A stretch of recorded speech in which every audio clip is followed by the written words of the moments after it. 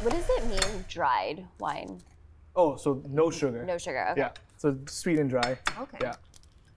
So, um, wow, you were talking to us earlier about the uh, the cut of the brisket as well. Is that a special part of the cow, or? Well, the brisket, like, it's very interesting how brisket has gotten so popular now.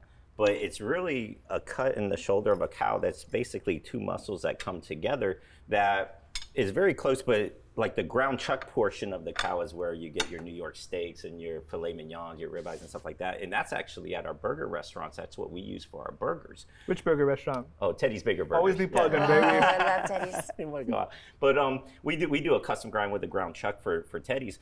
But it was interesting when we fell into barbecue that you're actually using not the prime prime cuts of the meat, but you're cooking them in a way that really accentuates it and and, uh, and makes it really palatable and really good. And you know, it comes from a history of barbecue where you know in the South it was the poor cuts of meat that were kind of the fall off the ribs and everything and they had to figure out ways to cook them to make them good and they made them like so good that they're like it's actually hard to find good brisket now. We use a cab a, a certified angus brisket. They're all very consistent. They come to us really good and there's all different grades down to commodity grade you know. But we use a prime cut of a brisket but um, they've gotten so in demand and because bar- barbecue has become so popular now that the prices are up commensurate with other cuts of meat you know but um, you get a big giant brisket in and it's the point in the flat. So one part of it is very lean and the other part is very fatty. And so when you order it in a barbecue house you can say hey i want the lean or i want the moist we call it. And so you cut off the moist part that's going to be a little fattier.